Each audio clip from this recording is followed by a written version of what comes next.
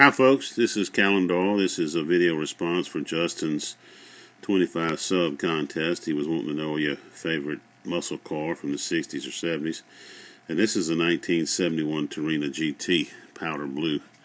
And uh, the reason that uh, this would be my favorite is because I had one just like this when I was in high school. Um, mine was powder blue like this. Uh, had uh, black interior, bucket seats, console, had a 351 Cleveland that was an uh, extremely torquey engine.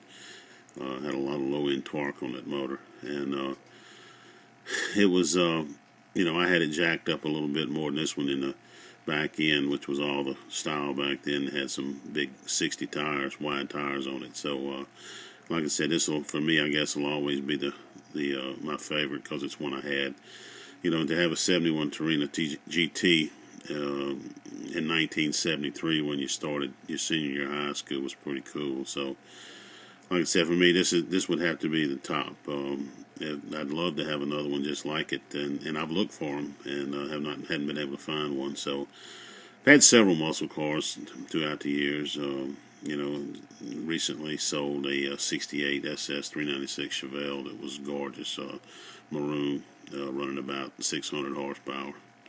Uh, best sounding vehicle I ever had. And currently I have a, a 1967 Dodge Monaco 500. It's uh, probably the best way to describe it would it would be Dodge's answer for a SS Impala. This one is a is a big full size C body with a 383 uh, two door console, bucket seats. Uh, like I said, uh, 383 Commando engine.